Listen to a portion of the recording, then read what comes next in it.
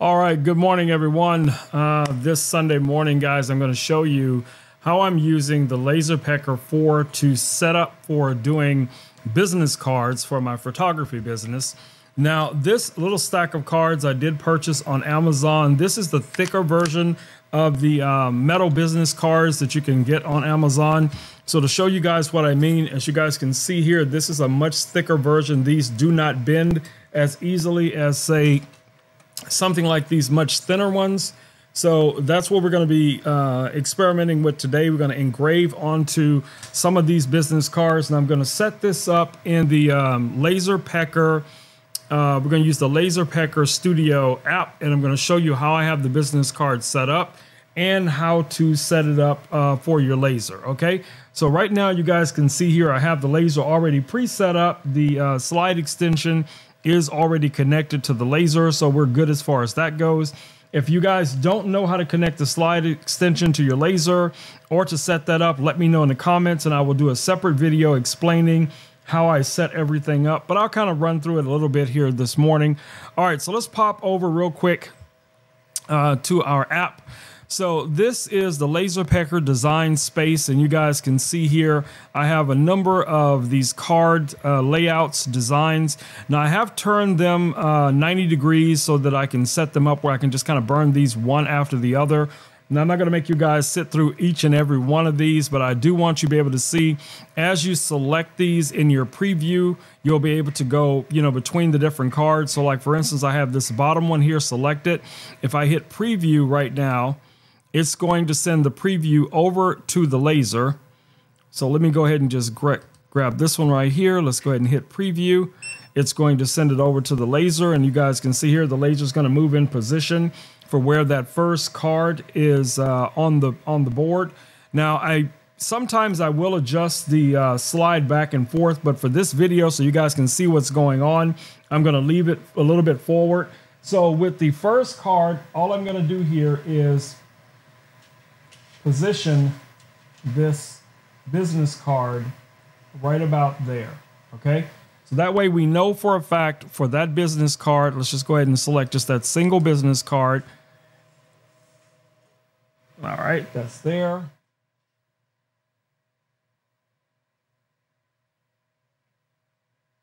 So that business card is for the most part centered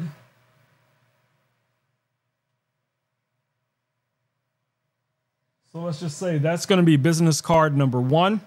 And then we're going to select business card number two. The laser is going to move to that position. Then you place your second card. Like so. Now I'm seeing that I need a little bit more separation in the card so that I can have them all fit perfectly on the board. So let me show you guys what I'm talking about there.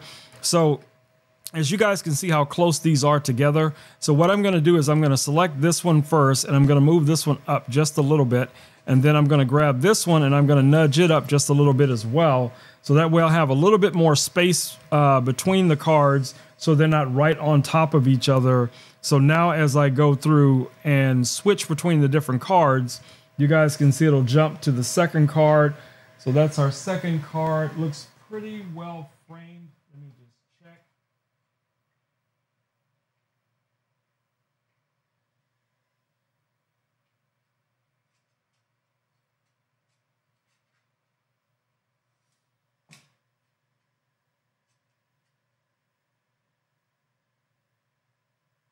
Now, when working with these metal business cards, guys, you will have to nudge them around a little bit to get them exactly where you want. I have a lot of lights on in the studio, which makes it a little bit more difficult for me to see the outline. So I'm going to bring the outline up just a little bit. Maybe you guys can see it a little bit better. And I'm just going to now position this card.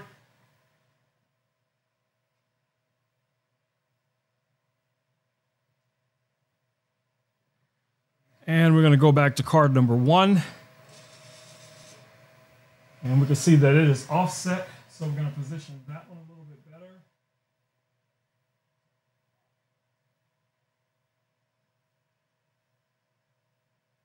What I'm going to do is nudge this one.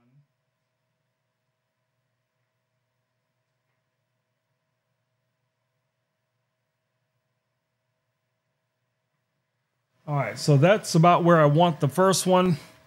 Now let's see where the second one's going to fall. And I'm going to move that up a little bit. That's a good position for that one. Then we're going to go to our third card. And we're going to nudge that up a little bit. And I'm nudging this actually in the app, in case you guys are curious. I'm not actually using my hand for this positioning. Now, if you're using your smartphone app, you can just nudge this uh, with, the, with the app itself by just dragging things around. Okay, so now we have all three cards, as you guys can see here, lined up. So let's go back to number two and to number three.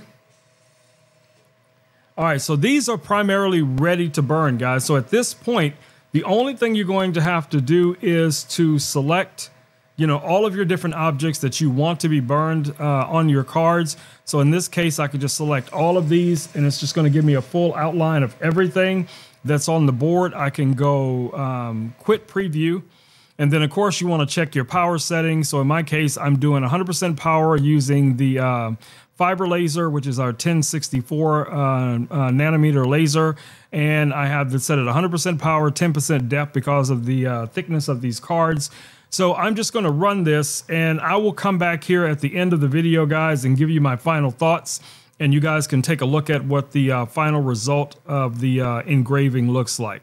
All right, so let's get it. Let's get it. Let me find my laser glasses. I do not have this in an enclosure, so I do have to put my super cool, stylish laser glasses on, as you guys can see here. All right, so we're just going to go ahead and hit our engrave button and confirm and it's going to send the files over to the laser and hopefully everything will run as expected. All right, guys, I'm going to stop talking right now and I'll come back after all of these are done and we'll talk about it at the end and I'll give you my final thoughts.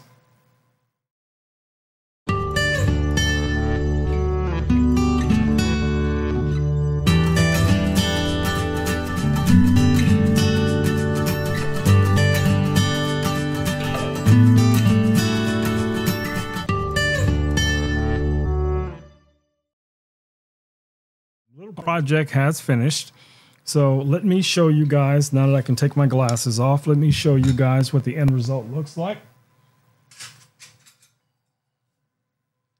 So this is one of the business cards. As you guys can see, my little graphic art is there. My uh, QR code is there as well. Let's scan the QR code with my phone just to make sure that everything does work trying to do this both with with I'm doing this with um, two hands, guys. So let me go back here real quick and let's try this again. All right, so let's grab our card and I'm going to scan it with the phone. I'm going to click on the link. And as you guys see, it takes you to my photography website from this QR code. And yes, the QR code was generated from the app itself. So the anchor, I'm sorry, the um, the app for the LaserPecker uh, I use to create the QR code. So, you know, if you guys are interested in that and you're trying to figure out how to set up your own QR codes, there is a facility in the app that's going to allow you to create your QR codes. All right, so let me show you that real quick, and then we're going to wrap this thing up. All right, so let's pop back over here real quick to video. Under your tabs here for text, let me show you guys, whoops, right here under text, you have the option of text, QR code, or barcode. So you can actually create your own QR code right here. Just click on it, draw it out, then click on it, double click on it again. Then you can enter whatever it is you want to, you know, place in here. This could be anything. Uh, it could be LaserPecker. I think it's .net or .dot .com. I can't remember which one of them it is, but that would be, you know, whichever you'd want to place there, and then you would just enter that. And now you have a vector QR code that you can resize uh, to, you know, however large you need it to be for your project. And then you can place that in your design. So this is all built into the LaserPecker design uh, space. All right, so let's go ahead and delete that so I don't wind up saving it. Now, something that you guys may have also noticed is that the laser printed out of order. And what the reason why that is is because this is not one solid graphic, right? So you got a variety of different things that are going on. So I have my artwork, I have my text, I have my QR code, I have this little outline so it was basically jumping back and forth. So what you may want to do at some point is to go into your layers and just kind of organize your layers based on, you know, whatever it is that you're going to be, um, you know, cutting out or designing or whatever the case is going to be. So you have some type of significant order. If that doesn't matter to you, then it's probably not going to be that big of a deal because it really doesn't matter to me if the laser's jumping back and forth. But for efficiency's sake, you know, most people who are, you know, OCD are going to definitely want that to, you know, follow some type of order.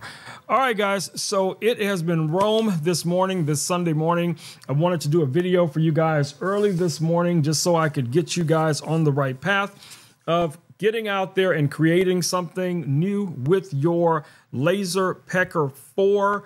Now, if you don't have the slide extension, I can show you another way a simple way that you can use a jig that you can download the uh, file for in 3D print and set up on your standard setup for your LaserPecker 4 to do basically the same thing. You're just going to do one business card at a time. So I do recommend if you if it's in your budget, guys, and you can get the slide extension.